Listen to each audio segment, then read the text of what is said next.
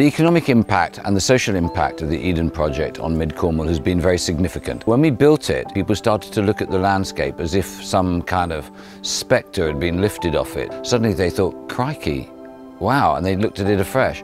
So our impact over the last 20 years has been to put more than 2 billion pounds. I'll repeat that, 2 billion pounds. Pound for pound, this is probably the best investment that Britain's ever made in a particular project. It's because of what the symbolism of this being a place of regeneration comes to mean. What it symbolizes, a bunch of ordinary people believed in doing something amazing and thought, why shouldn't it happen here?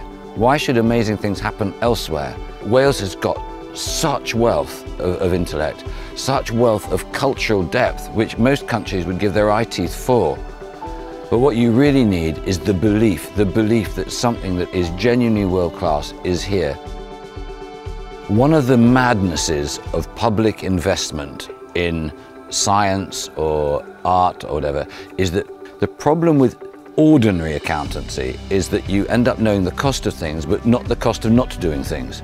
Who on earth? This cost 140 million pounds in total. Only an idiot would do it because we only turn over 27 million a year. So why? Well, the truth is we're putting 60 million pounds every single year back into the economy. It has catalyzed so much possibility everywhere else.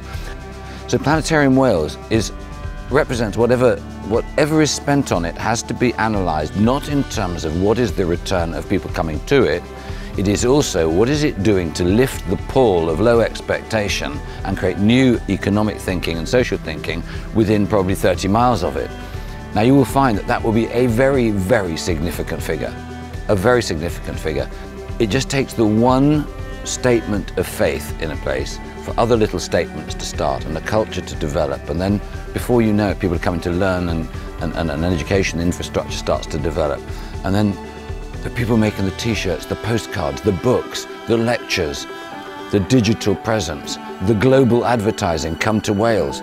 Now you suddenly start to say, wow, that was a complete bargain.